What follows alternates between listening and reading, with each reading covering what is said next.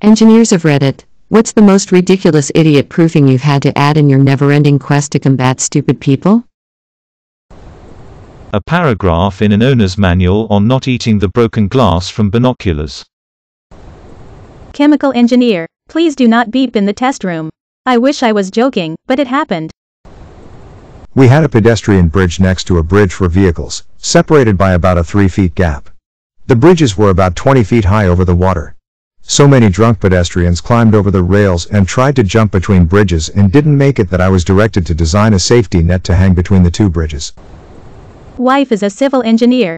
The one that came to mind for her was that she had to add to the specification of a construction contract that stated that workers would not drink the water that accumulated at the bottom of an excavation. I work on cars, so almost everything is designed around protecting people. My favorite is that we have to make the HVAC system louder and engine noise insulation worse because people will complain if they can't hear the systems running. We could make almost silent air ducts, but our warranty spend would go up. I work in facilities maintenance. Someone put in a ticket for a malfunctioned computer on and I found the power cord was frayed. Not my gear so all I can really do is set it aside and have the biomed techs fix it. I put a zip tie through the holes in the prongs of the plug, put two nitrile glove on the plug, zip tied the gloves in place, and wrapped up the gloves with duct tape. I got a sheet of printer paper and wrote, inoperative. Do not use, do not plug in, and taped it to the monitor. Couple hours later I get a ticket for another cow with frayed power cord sparking.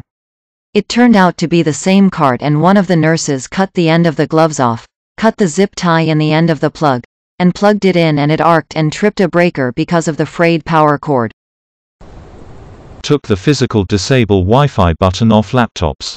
Clearly marked, but people would still flip it and wonder why their Wi-Fi went off. Civil engineer here. While laying asphalt usually we close the road and cover using barricade tapes. But no matter how hard we try people always find ways to go through and ruin the whole process. Ultimately we had to use security to block the roads. Former combat engineer here. We built a 3 feet high fence across a minefield including huge red warning triangles every 4 feet. Someone still stepped over it to go take a crap in the woods. They were carried out on a stretcher. Nothing is idiot-proof. I'm a MechE intern. I walked in on my manager discussing a design with another engineer. All I heard was, so the guys will probably use that as a hammer so I made it out of this stronger material. When they're working they will probably be throwing this small door open so I used stronger hinges and added a stop. It's things like this that I really appreciate about my internship. I likely wouldn't have thought about that myself. I was asked to make a hydraulic oil pump nozzle drink proof. I worked in a call center and all of the PCs were slung on straps under the desks. I'd love to know which genius came up with that idea. So, people would be on the phone swinging back and forth in their chair and hit the power button. Then I'd get a ticket saying my modem keeps turning off. I disabled the power button from immediately shutting down the PC if you pressed it but of course they'd get into a position sometimes where it'd be held down long enough to override it. Solution? Duct tape and a bottle cap. Once we upgraded all the PCs to new ones I took the time to remove those stupid straps and put the PCs behind the monitor out of reach instead. I have one customer that takes our product, removes the battery packs, and solders them in backwards. He cuts the wires to the batteries, then solders red to black, and black to red. Then calls us complaining that they don't work. There is no idiot proofing that I can think of at this point. I pretty much just admit defeat now. Application engineer here. When handling a 3D laser scanner, it has to be placed and fixed on a stable tripod. A flat rail of a balcony is not a suitable substitute for it. And no, the insurance has not covered the total loss of the device after it fell from the fifth floor to the concrete pavement. Industrial designer here. You have no idea how many pointers I have to add to the products I make. I had to add arrows to a product that had two-piece THT the client could put together and remove for cleanup. It was designed that it could only fit into one position and it was made very obvious which position that was, think a larger shape and hole. No, I still had to put two arrows in case people couldn't tell the bigger bump could only fit in the bigger gap. I work for the utility company, mainly in the distribution of natural gas. All of the pipelines we put into the ground are either yellow, or black and yellow, and only gas is allowed to use yellow for their pipes. Some of them have natural gas printed on them in big bold letters. We put special tape about 20 centimeters above the pipeline to indicate that there is a gas pipeline below and whomever is digging there should be careful. All these precautions and warnings, and we still get daily incidents from idiots who were digging somewhere and hit a gas pipeline. Ever write any software? The amount of error checking you have to do on any user input is phenomenal. No matter how much explanation you provide, users seem to be chimpanzees entering stuff seemingly at random. Mechanical engineer. I work on systems that need to be light and durable, but the business guys want it cheap. This is a choose two sort of situation so you can probably guess what got dropped. I can't tell you how many times I've told the operators to not intentionally drop the product from 6 plus FT onto concrete. Can't get specific, since it's a very niche, classified market. I'm in the process of turning my woodcrafting hobby into a career, with every project I add to my portfolio. I've seen a lot of requests for desks that are so customized, they want everything that can't happen. They want an armrest where there's also a cup holder, they want a keyboard at this height while having the monitor at that height, all these impossible requests.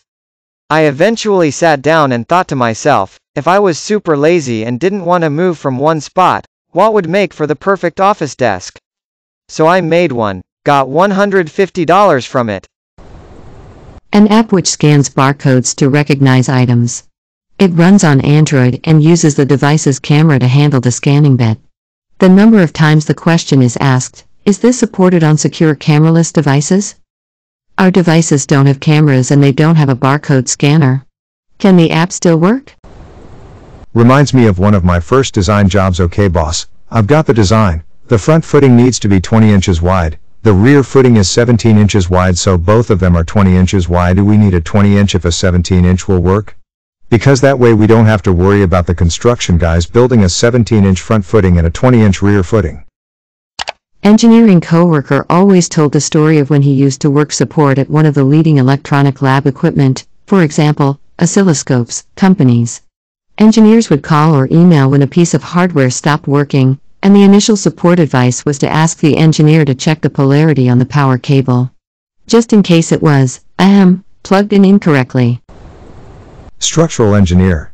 When designing a handwheel for a door on a ship, we had to intentionally design the handwheel to break before the shaft. Because we can't trust idiots to not spin it as hard as they possibly can, destroying the entire door in the process. I work remodeling small businesses. Our niche is we keep the business running while doing the remodel. I've caught people climbing over fences, ducking under moving heavy machinery, broken the locked doors all to act surprised when we tell them this area is off limits and point to one of the 10 signs we posted. This was while I was in school for electrical engineering. The professor looked at us one day and said, You can't make something 100% idiot proof because the universe will just make a better idiot at the challenge. That has stuck with me since. Structural engineering at an industrial facility. Switched to pipe or HSS for bracing because anything made out of angle would be immediately torched out of the way if it ever got remotely close to anything maintenance wanted to work on since it was just an angle iron. Do not eat iPod shuffle. Systems engineer, or sysadmin. I gave up years ago. We had a saying in a factory I worked in. A determined worker will destroy an anvil with a rubber mallet. Not an engineer, just a user. Front toward enemy, on an M18 Claymore mine. May your day be filled with joy and happiness. And please remember to like, share, and subscribe for more quality content every day.